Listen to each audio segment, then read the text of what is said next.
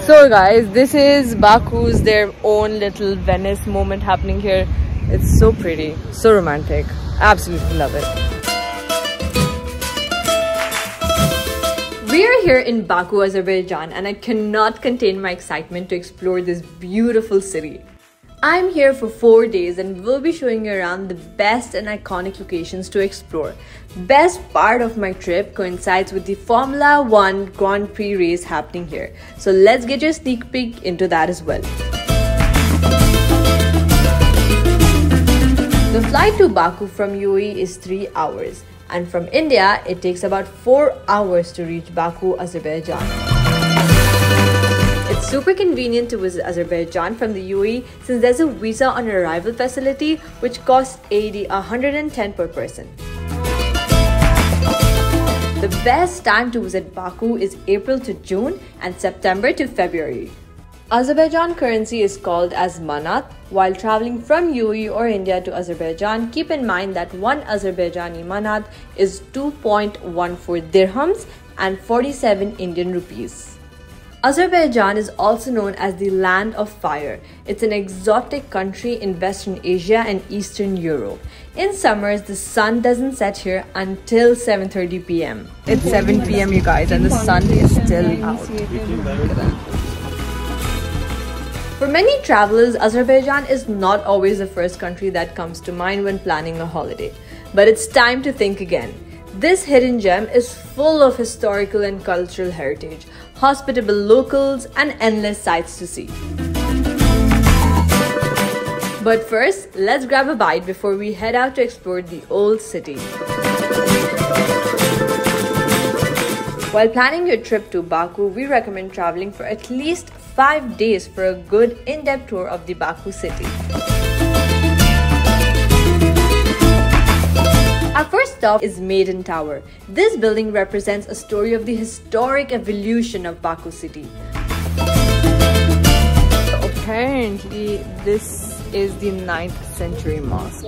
We saw the Muhammad Mosque where irrespective of being Shia or a Sunni Muslim, both pray here together. Our next stop is Baku's old city walls and the decorative doorways in the old city. And we must say, the architecture and vibe of the old city is just stunning. Well, that one was a fun and action packed day. It's time to head back to our hotel and get some good night's sleep. So, see you tomorrow. Just checked into the room, you guys. I am exhausted. Oh.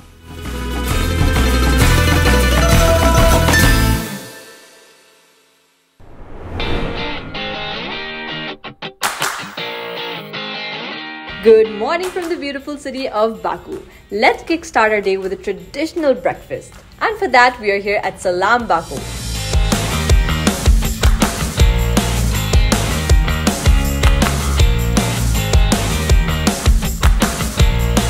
The food here tastes absolutely delicious and the views from this place are breathtaking as well. Okay guys, so one of the most traditional things about the Baku breakfast is you take this bread, you take a piece of it. And I'm here gonna be putting this cream on top. Like that. And then we're gonna take some honey. And we put it on top. And there you have it.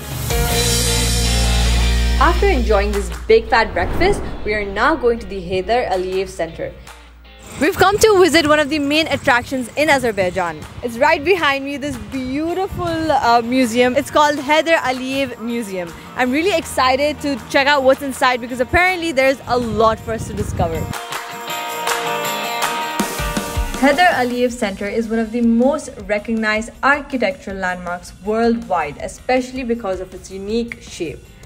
When visiting Heydar Aliyev Center, the entrance fee for it is 15 manat. This building is a museum, a workshop, exhibition and a conference center all in one. Apart from its grand design, Heydar Aliyev Center is used for country's cultural programs and more. Just look at that. It looks like a fluid shaped building that has literally zero sharp angles. It's a must visit when visiting Baku. Post our museum tour, we are now heading straight to Chai Baghi in the old city to have some delicious meal while enjoying the pleasant weather and views of the old city.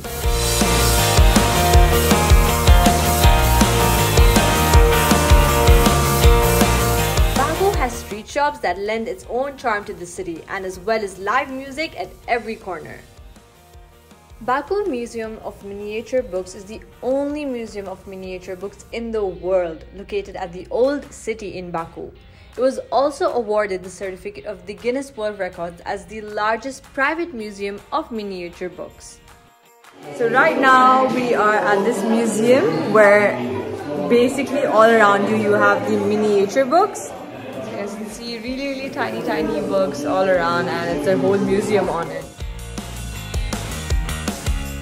Baku at night is magic, and to experience more of it, we are off to the Highland Park to enjoy the city views and views of the Flame Tower. One of the most remarkable nightlives you're gonna find it here in the old city. It's just as beautiful as it is during the day.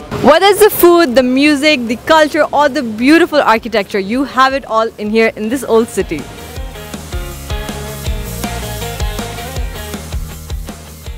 So right now we've come to a place where again it's filled with rich history and culture that's absolutely beautiful.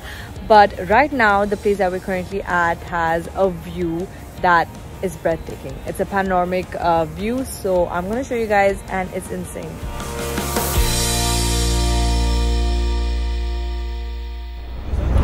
Day three, guys. Now visiting the Carpet Museum and post that we're so excited to go and attend Formula One's Day 1 event. So we already knew that Azerbaijan is really big on its rich heritage, culture and history. And just like that we've come to the Carpet Museum where we get to know a lot of history and a lot of information about how carpets are made here. The museum dives deep into the techniques used to make carpets. It was established in 1967 and has the largest collection of Azerbaijani carpets in the world. Baku, basically the east is very rich in its culture and history and that's what I'm getting to see here. A lot of carpets, a lot of like culture representation is happening here and apparently Baku is known, Azerbaijan is known for its carpet making which is something really interesting that I didn't know. Um, all this while I, I thought it was like Iran, you know, like Iran are known for their carpets, but actually Azerbaijan is also really big on carpets.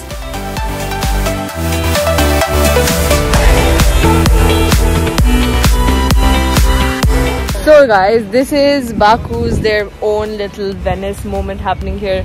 It's so pretty, so romantic. Absolutely love it.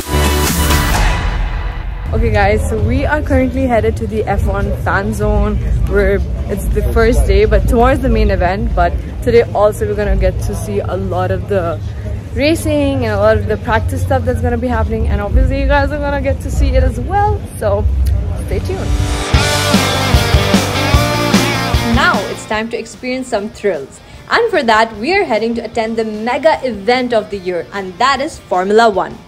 Baku is the newest street circuit on the Formula One calendar, joining the ranks of Monaco, Melbourne, and Singapore. Paddock Club is a lounge sitting area with dedicated seats. Here you can enjoy a live view of the race outdoors or on the big screen sitting inside enjoying your meals and drinks. While F1, the main event is happening tomorrow, today we have the practice rounds and then we have the qualifying rounds which will go and lead up to the F1 race tomorrow.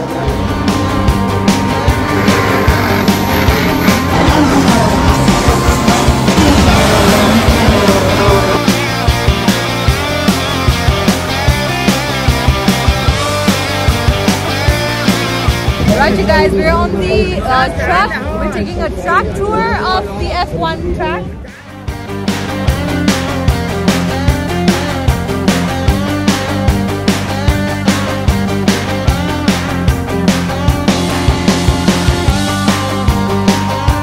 Alright you guys, so after the track tour, now we're walking on the pit lane, very close to the circuit right here and yeah, this is what we got, a really close view of the track.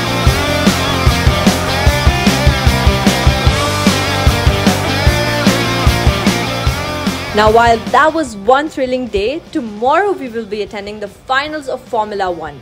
And we can't wait to experience some speed and enjoy the sound of the supercars that will be racing on the tracks.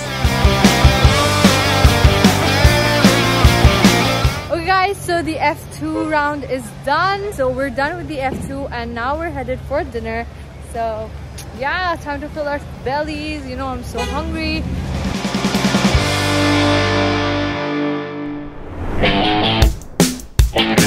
Alright you guys, so today is the F1 race and they're just about to get started so let's go and watch it because it's super exciting! It is finally the day that every Formula 1 fan has been waiting for. It is the day where we will find out who is about to win the Formula 1 race at the Grand Prix happening today at Baku City Circuit in Azerbaijan. People have come from around the world to experience this live and I must say it feels absolutely amazing to even be here. Here, we got a glimpse of Max Verstappen, Red Bull racer, the 2021 world champion, and Carlos Sainz, Ferrari racer at the Paddock Club. Everyone at the circuit was filled with lots of excitement, nervousness, and emotions, waiting to find out the winner for F1 Grand Prix.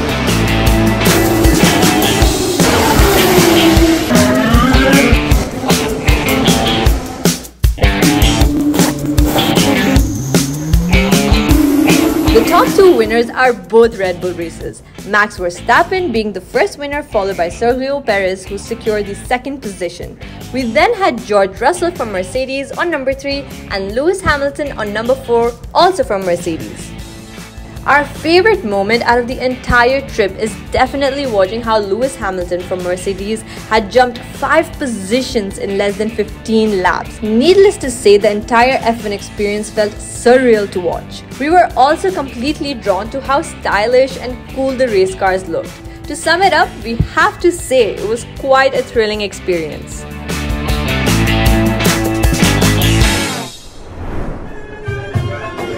That's an Indian song.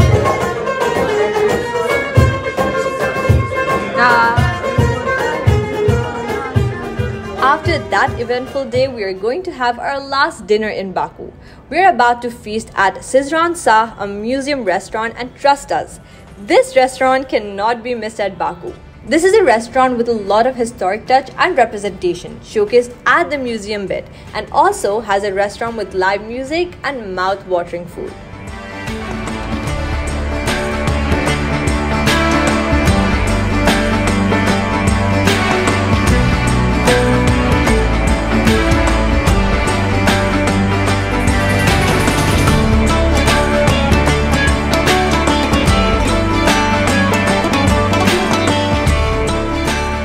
Just like that, our four day trip has come to an end. Baku has been amazing and we definitely recommend it if you're looking for traveling during any long holidays in the UAE or to just visit some place nearby. The costs for Baku are quite affordable compared to a lot of other places. It is the perfect little getaway, especially now if you want to escape the heat of UAE. For more such videos, make sure to follow Curly Tales Middle East and until then, this is Abba Asif signing off.